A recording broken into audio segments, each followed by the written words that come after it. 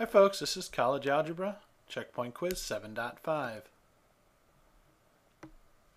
Alright, number one, we're given an equation, asked to put it in standard form. And we are asked to find center, vertices, foci, and asymptotes. So if this didn't clue you in that it was a hyperbola, how could we have looked at the equation to see that it was hyperbola? Well, both variables are squared, and they have different signs. This is a positive, this is a negative. So unless it turns out to be one of those degenerate conics, it's going to be a hyperbola. So we've got 25x squared minus 50x minus 4y squared minus 16y minus 91 all equal to 0 and we have to fit it in one of the two hyperbola forms, either an x squared minus y squared form or a y squared minus x squared form. And even though the x squared here is positive at the beginning, that may not be the case that when we're all done with it, the x squared is still positive. But nevertheless,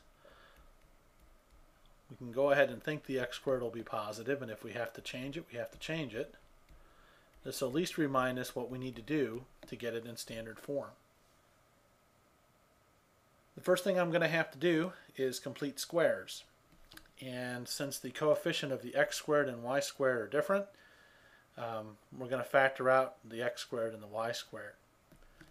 Might as well move that 91 over to the other side to get it out of the way.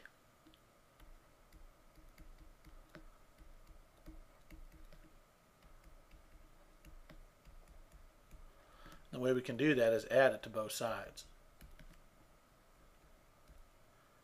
All right, let's factor out what's multiplying the x squared from both of the x terms. I would have an x squared minus 2x. And I'm going to leave room for the perfect square I'm going to put in there. Uh, factor out the negative 4 from the y squared and the 16y. And once again, I'm going to leave room for the completed square.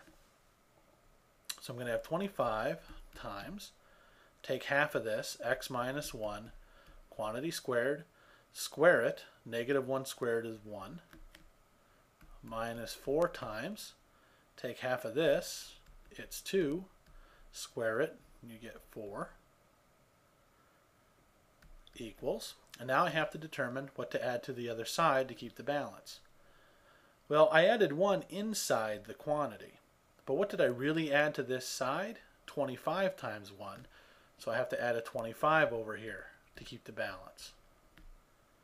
What did I really add here? Well, I added 4 inside the quantity, but when I multiply through the negative 4, I'm really adding a negative 16 to that side. So I get 91 plus 25 minus 16, which equals 100. So now I've got the perfect squares. Now I got to get the thing equal to 1. So I'm going to divide both sides by the 100.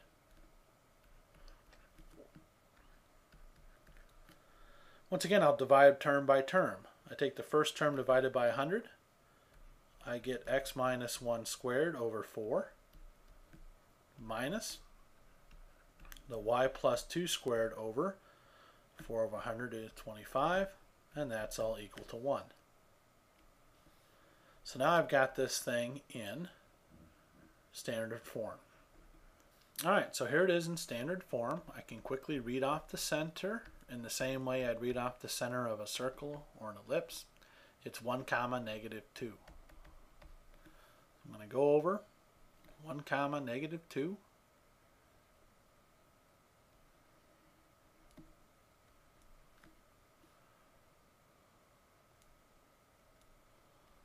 There's the center.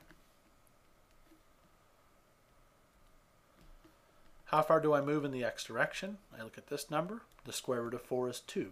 I'm moving 2 in the x direction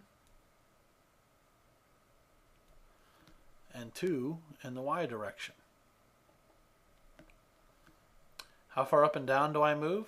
The square root of 25 is 5. So 1, 2, 3, 4, 5. And then down 5. 1, two, three, four, five. And I'm going to create my box.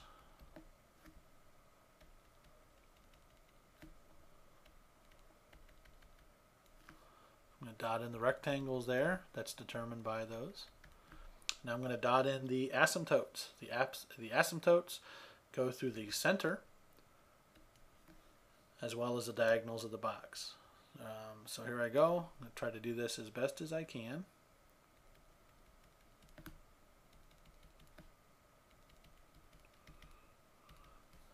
Those are supposed to be straight lines.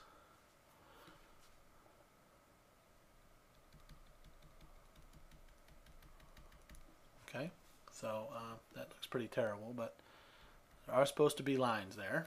Those are slant asymptotes. And now I go back and look. Since it's the x squared, which is first, it's x squared minus y squared. I know the parabola opens left and right.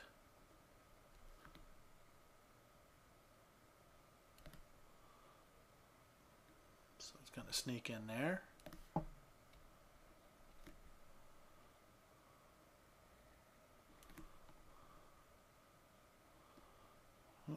All right, so it's a pretty sorry looking hyperbola, but um, there it is. Okay, so uh, on to find other things.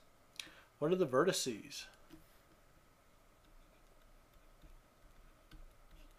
Well, by definition, the vertices of the hyperbola are the points on the hyperbola which lie along the transverse axis. What's the transverse axis for this hyperbola? Well, it's the, in this case, it's the line that goes to the center, um, which intersects the hyperbola. So in this case, the transverse axis is this horizontal is uh, parallel to this hor is excuse me lies on this horizontal line, and I can get these two endpoints were two of the original points that I drew. So the center we know was at 1, negative 2, and I moved two units left and right. That's going to put the vertices at 3, negative 2 and negative 1, negative 2 because I moved two units left and right of the center. What about the foci? Well, just like with the ellipses, the C is the key. And to find C, we add the squares in the case of the hyperbola.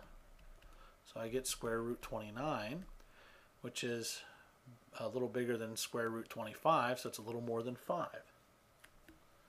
So I'd move out 5 units, 1, 2, 3, 4, 5, to get to the foci.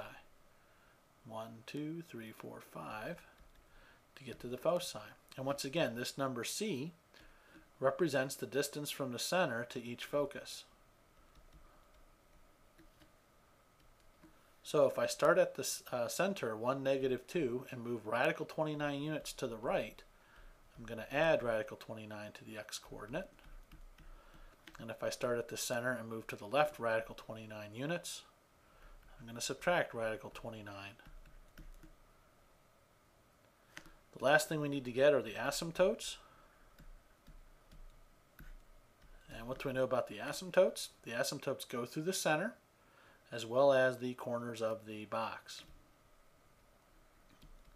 And there's two of them. y equals plus or minus. The slope, how far up did I go? The square root of 5, which is 5. How far over did I go?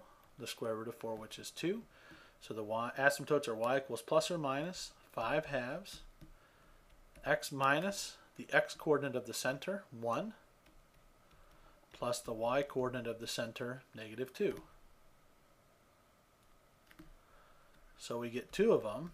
If I look at the positive 5 halves, positive 5 halves x, I get a minus 5 halves minus 2. That'd be a minus 5 halves minus 4 halves or a minus 9 halves for the first asymptote. The other asymptote would have the slope negative 5 halves, x. The negative 5 halves would contribute or, or would multiply to give me a plus 5 halves. 5 halves minus 2, 5 halves minus 4 halves, give me a positive 1 half. All right, so those are the two slant asymptotes. So that'll do it for number one.